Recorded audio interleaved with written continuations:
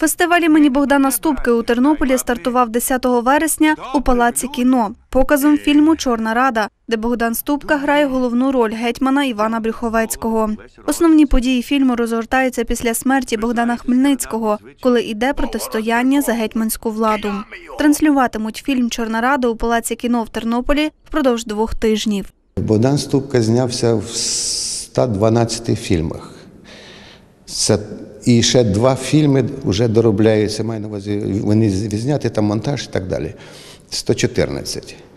Але ми в першу чергу вибрали ті фільми, які включені е, не, самі фільми, а твори, е, на, за мотивами яких зняті ці фільми, включені в шкільну програму. Далі організатори фестивалю імені Богдана Ступки планують показувати фільм життя Остапа Вишні.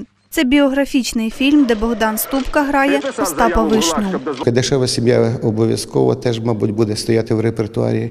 І ще по- вивчимо, тому що в деякій мірі е, трошки складно зараз мені назвати, тому що ви знаєте, що шкільну програму трошки там теж підкоректували. Зараз ставити фільм е, з участю Богдана Ступки, а діти будуть вивчати е, цей літературний твір десь в квітні, в травні, то трошки це. Ми будемо ставити так, що щоб вони найближчий час будуть вивчати. Триватиме фестиваль імені Богдана Ступки у Тернополі близько двох місяців. Квитки на сеанси коштують 20 гривень. Початок показу фільмів о 15 годині.